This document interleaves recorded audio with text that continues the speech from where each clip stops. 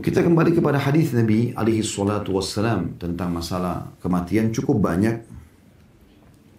Dan uh, beliau memberikan peringatan-peringatan kepada para sahabat seperti misalnya hadis yang sahih kafa bil mauti dzakira. Cukuplah mati sebagai pemberi peringatan. Kemudian beliau mengatakan tentang masalah menziarahi kubur ya. Kuntu nahitukum an ziyarati kuburi fazuruha fa inna tudzakkirul akhirah dulu di Mekah saya pernah larang kalian berziarah kubur karena di situ masih sedikit kuburan umat Islam ya setelah hijrah ke Madinah kata Nabi SAW, sekarang saya perintahkan kalian berziarah karena itu akan mengingatkan kalian terhadap akhirat. Ya.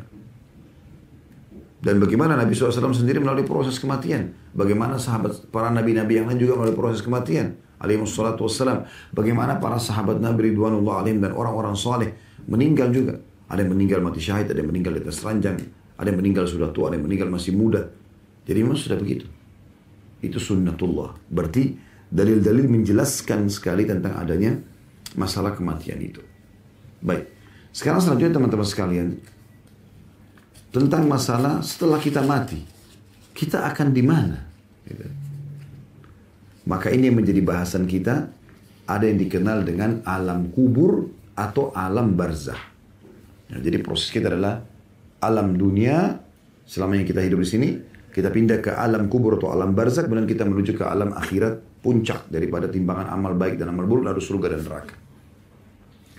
Jadi alam kubur atau alam barzah ini adalah pintu ya utama untuk menuju kepada kehidupan abadi di surga atau di neraka.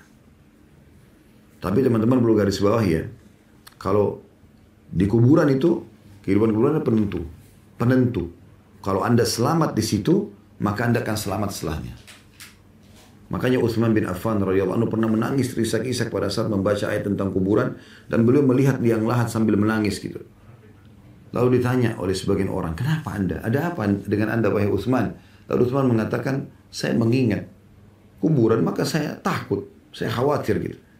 Lalu orang-orang sekitar mengatakan, Apakah anda takut? Wa anta anta. Maksudnya kamu ini siapa? Kamu anak mantu. Jadi makna kalimat mereka ini. Engkau adalah anak mantu Rasulullah SAW. Engkau sudah dijamin surga oleh Nabi SAW. Berjuang dengan Nabi. Banyak bersedekah. Menjadi khalifah muslimin. Banyak keputusannya dijalankan oleh kaum muslimin. Berapa banyak pahala yang anda dapatkan? Apa kata Uthman? Ketahuilah. ya Ini adalah awal kehidupan akhirat. Siapa yang selamat di sini. Maka dia akan selamat di sana. Dalam athar yang lain beliau mengatakan Rasulullah SAW menjamin bagiku surga, tapi belum menjamin bagiku kuburan. Gitu kan? Maka seorang mukmin mengetahui di sana ada kehidupan dan banyak sekali dalil yang akan menyampaikan masalah atau kita sampaikan berhubungan dengan masalah ini. Ya. Jadi jangan anda lihat ya, kuburan itu cuma liang lahat, cuma ta guntukan tanah dan batu nisan, tapi di dalam situ ada alam, ada kehidupan. Ya. Anda kalau pernah sholat jenazah, di empat kali takbir. Takbir pertama Anda baca Al-Fatihah tanpa iftitah dan tanpa surah. Takbir kedua Anda baca salawat yang Anda baca dalam tahiyat ya. Allahumma salli ala Muhammadin wa ala ali Muhammadin kama sallaita ala Ibrahim wa ala ali Ibrahim innaka Hamidum Majid sampai akhir. Takbir yang ketiga Anda mendoakan mayit. Ya. Dan takbir keempat Anda mendoakan diri Anda atau Anda salam. Di doa, di takbir ketiga ini apa yang Anda baca? Allah salah satunya ya, Allahumma rzukhu daran khaira min darihi. Ya Allah karuniakan dia rumah atau tempat tinggal lebih baik daripada tempat tinggalnya di dunia. Berarti kan ada kehidupan di sana. Wa ahlan khaira min ahlihi. Dan keluarganya lebih baik daripada keluarganya di dunia. Karena dia akan ditemani oleh amal soleh yang akan kita jelaskan ya. Dia akan ditemani oleh amal solehnya yang menjadi seperti keluarganya di kuburan itu atau di alam barzah. Wa jaran khairi min jiranihi. Wa jaran khaira min jiranihi. Dan tetangga lebih baik daripada tetangganya. Ini bukti nyata. Begitu juga Anda kalau ziarah kubur, apa yang Anda baca?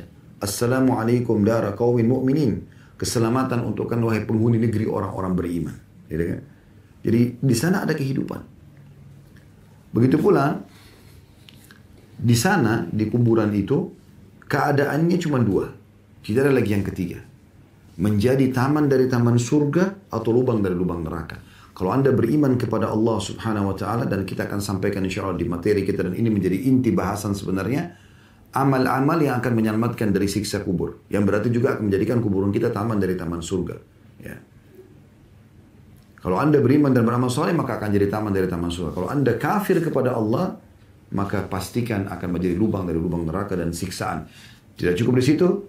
Pada saat Anda dibangkitkan nanti hari kiamat ditambah lagi sisa yang lebih berat di neraka nanti. Wa na'udzubillah. Ya. Di antara dalilnya juga adalah hadis yang sahih diriwayatkan oleh An-Nasa'i. Dari Masruq rahimahullah seorang tabi'in berkata dari Ummul Mukminin Aisyah radhiyallahu anha, beliau berkata berkata dakhalat yahudiyatun 'alaiha. Uh, dari Aisyah atau kejadian yang terjadi pada Ummul Aisyah Masruq mengatakan dakhalat yahudiyatun 'alaiha fastauhabatha syai'a. Telah masuk seorang wanita Yahudi kepada Ummul Mukminin Aisyah radhiyallahu anha lalu dia minta sesuatu ya Wawahabat laha Aisyah. Maka Aisyah memberikan kepada orang wanita Yahudi tersebut apa yang dia minta. Dan ini berarti pelajaran kita boleh berbagi dengan orang-orang kafir ya. Bukan berarti kafir lalu kita benci. Yang kita benci perbuatan seseorang, kekafirannya. Maka itu kita obat, kita kita coba nasihatin, dakwahi, doakan supaya dia tinggalkan keburukan dia. Sama dengan orang berzina, orang mencuri. Yang kita benci perbuatannya bukan fisiknya. Kita berharap memperbaiki perbuatan yang keliru itu. Makanya Aisyah radhiyallahu memberikan wanita Yahudi ini apa yang dia minta. Qalat ajarakallah min adzabil qabr. Lalu si Yahudi, perempuan Yahudi itu mendoakan mengatakan semoga Allah selamatkan engkau dari siksa neraka, maksudnya dengan eh, siksa kubur karena engkau telah memberikan kepada aku apa yang aku inginkan ini. Qalat Aisyah, fawaqa fi nafsi min dzalika. Maka Aisyah mengatakan aku ragu dengan apa yang dibahasakan oleh perempuan ini, ya bimbang dengan apa yang dibahasakan ini, mengganjal gitu ya. Hatta ja'a Rasulullah SAW fadzakartu dzalika lahu. Sampai Rasulullah SAW masuk ke rumahku, bertemu, lalu kemudian aku ceritakan apa yang terjadi itu. Faqala maka Nabi SAW mengatakan innahum la yu'adzabuna fi kuburim azaban tasma'uhul bahaim. Ketahuilah bahwasanya mereka orang-orang kafir akan disiksa di alam kubur mereka dengan adab yang dapat didengar oleh hewan-hewan ternak. Berarti menandakan kuburan itu bisa menjadi lubang dari lubang neraka. Ya. Nanti kita jelaskan dalil juga yang lain ya. Juga riwayat Ibnu Abbas radhiyallahu anhu tentang adanya memang kehidupan di kuburan dan ini dari hadis Nabi SAW ya. Anna Nabi SAW kana yu'allimuhum hadha du'a kama yu'allimuhum suratu minal Qur'an. Bahwasanya Nabi SAW selalu menekankan sahabatnya untuk mengajarkan dan menekankan agar mereka menghafal dan mengamalkan doa ini sebagaimana mereka diajarkan Al-Quran. Bayangkan saking pentingnya doa ini sampai ya di, seperti kedudukannya belajar Al-Quran. Ya. Atau Nabi SAW peduli seperti pedulinya mengajarkan Al-Quran kepada mereka. Yaitu doanya, beliau mengatakan, ya kul kulu. Beliau mengatakan, selalulah ucapkan, Allahumma inni a'udzubika min azabi jahannam. Ini biasa kita baca sebelum salam ya di tahiyat. Ya Allah aku berlindung kepadamu dari siksa neraka jahanam. Wa bika min azabil qabr.